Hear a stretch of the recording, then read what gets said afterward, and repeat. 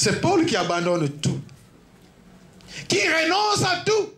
L'église glorieuse, c'est cette église qui est appelée à renoncer au mal, à renoncer au péché, à renoncer aux œuvres de ténèbres et qui se donne pour tâche, pour devoir de connaître Jésus-Christ. Qui fait des recherches sur Jésus-Christ ici?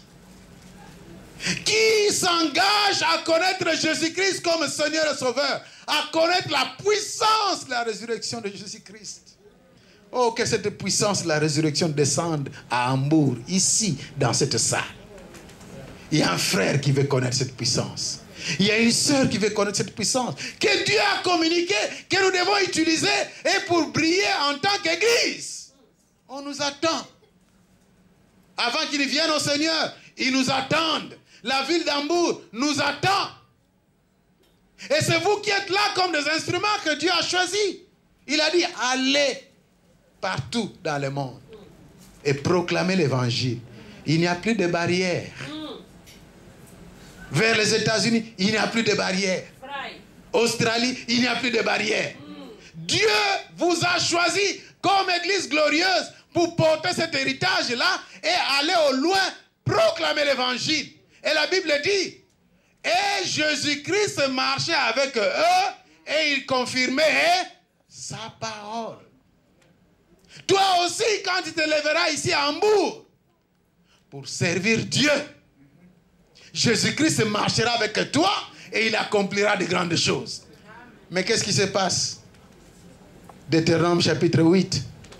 Quand tu mangeras, quand tu construiras des maisons, quand tu auras des véhicules, quand tu auras une femme, quand tu auras tes enfants, quand tu auras ton diplôme, ne dis pas que c'est ma force, c'est ma puissance, c'est mon intelligence, mais rends grâce à Dieu qui t'a donné ces choses. Mais comment est-ce que nous rendons grâce à Dieu? La belle-mère de Pierre a été guérie. Après avoir été guérie, elle a servi le Seigneur. Mais nous, qu'est-ce que nous faisons lorsque Dieu nous a visités? Les visas qui est difficile, vous avez quitté l'Afrique, vous êtes venus ici en Allemagne. Et vous vivez ici. Et qu'est-ce que vous faites? Vous croisez les bras dans l'église. Alors que c'est pour un temps comme celui-ci que Dieu a choisi de vous envoyer dans cette ville ici. Parce que parmi vous, il y a des Daniel à Babylone. Parmi vous, il y a des Esther qui sont dans une terre étrangère et qui défient l'ennemi pour prouver au monde entier que nous avons un Dieu qui est vivant. C'est cette église-là que Dieu attend. Acclamons le Seigneur.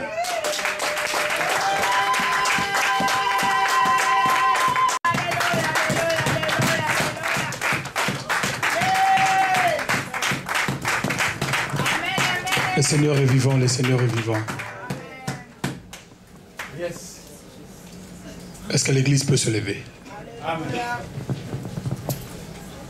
Après avoir entendu une telle parole, cela ne peut que te pousser à te révolter. Alléluia. Et annoncer dans toute sa simplicité une parole qui est poignante. Une parole qui vient te faire les guili-guili. Une parole qui vient te secouer. Une parole qui vient te réveiller. Vous savez, le diable est tellement méchant que des fois il choisit de nous mettre dans une forme de conflit sans intérêt pour nous diminuer. La Bible déclare un royaume qui se divise ne peut subsister. Dieu a voulu que son Église soit dans la gloire. Mais une Église qui se divise ne peut pas marcher dans la dimension de la gloire de Dieu.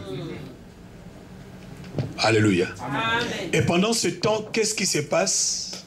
L'homme de Dieu a dit, la, la création tout entière, c'est-à-dire le monde, les païens, ils attendent la manifestation des fils de Dieu. Et pendant que les païens attendent que le Fils de Dieu se manifeste, que font les fils de Dieu? Ils s'entretuent.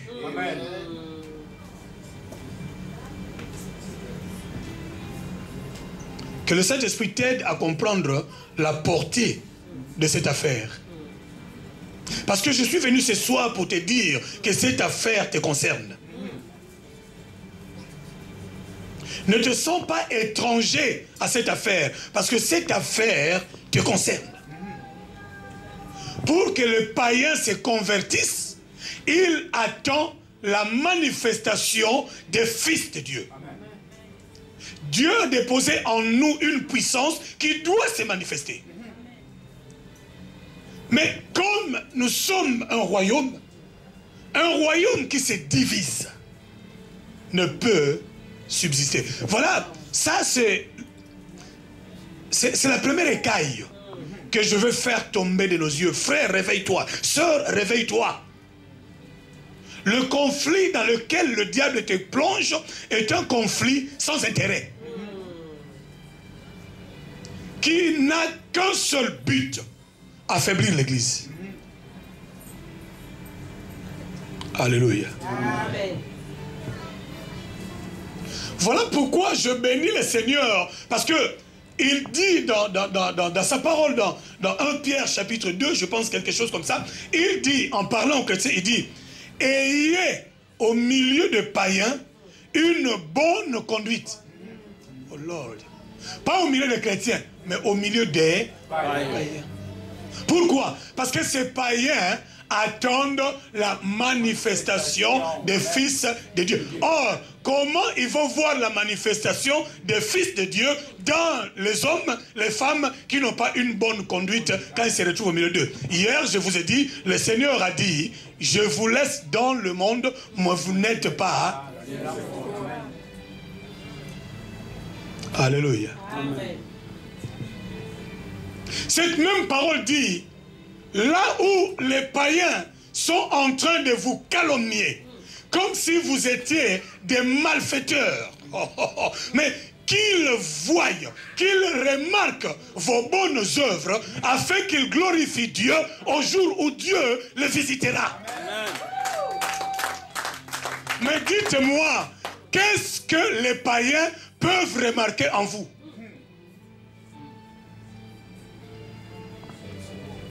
Alléluia. Merci, homme de Dieu.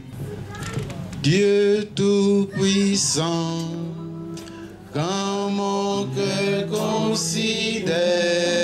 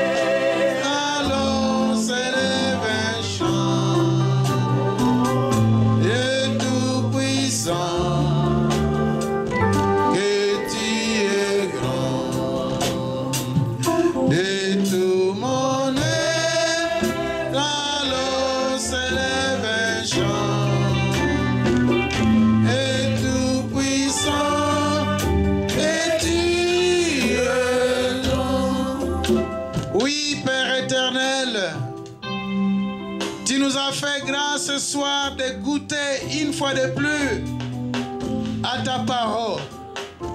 Et nous pouvons certifier qu'elle est excellente au de gloire. Yahweh, tu te glorifies parmi nous. Et comme tu nous l'as dit, que le monde attend la manifestation des fils de Dieu. Et aujourd'hui, tu nous as démontré.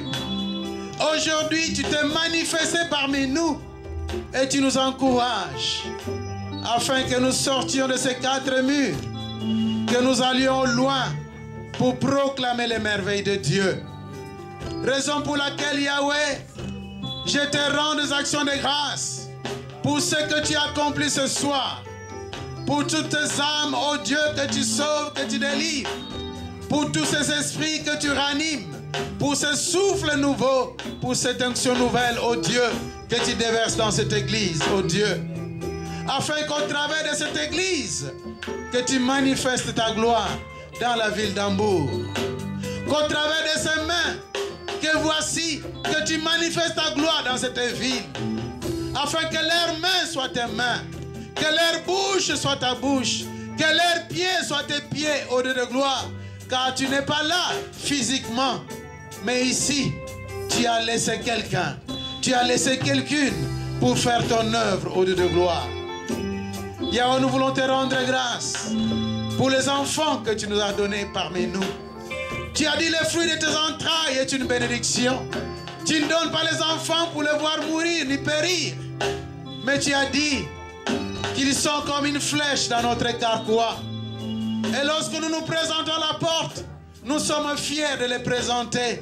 Merci de les remplir aussi de ta puissance, de ton onction, afin que dès les bas âges, que tu les prépares, que tu les rendes disponibles pour ton œuvre, afin que eux aussi, qu'ils soient la manifestation de la gloire de Dieu. Yahweh, je te prie que ton peuple soit à la dimension des montagnes qui sont au-dessus des autres montagnes et qui s'élèvent et qui disent Qui es-tu, grande montagne? Au nom de Jésus-Christ, tu seras aplani. Rêvez encore ton peuple de ta puissance et tends ta main, Seigneur. Bénis ces offrandes, ces actions de grâce, ces dîmes, ces dons volontaires, oh Dieu. Cet appel de fonds qui a été lancé. Yahweh, tu honores ce qui t'honore. Et c'est toi qui as dit, tu ne te présenteras pas devant moi les mains vides. Ton peuple a obtempéré, a obéi à ta parole. Ouvre ainsi les écluses de cieux. Remplis, Seigneur, les greniers dans leurs maisons, leurs réserves au de gloire. Ouvre la voie du travail. Que les dossiers qui traînaient encore sur les tables soient signés libérés au nom de Jésus-Christ. Que les affaires qui étaient stériles produisent maintenant au nom de Jésus-Christ. Yahweh, même là où il y avait la sécheresse, Isaac a semé dans un terrain aride. Mais à cause de Dieu, il a récolté au centuple. Qu'il en soit ainsi, afin que ceux qui sèment, même ici à Hambourg, Seigneur, qui récoltent au centuple à ton nom. Maintenant, Seigneur, nous voulons répartir chacun chez soi. Mais nous croyons que tu es le lion de la tribu de Judas. Tu marches devant de nous, Seigneur. Tu éclaires notre route. Et tu nous couvres dans le sang précieux de Jésus. Car nous sommes la prunelle de ton œil. Afin que nous soyons visibles auprès de toi, mais invisibles dans le camp de l'ennemi. Et tous qui nous verront reconnaîtront que nous t'appartenons, Seigneur. Laisse que maintenant l'amour de notre Père, la grâce infinie de Jésus-Christ, notre Seigneur et Sauveur, et la communion parfaite du Saint-Esprit nous accompagnent, nous ramènent dans nos maisons et nous, ramène encore demain en ce lieu, car c'est à toi seul qu'appartiennent le règne, la puissance et la gloire pour les siècles des siècles. Amen. Acclamons le Seigneur.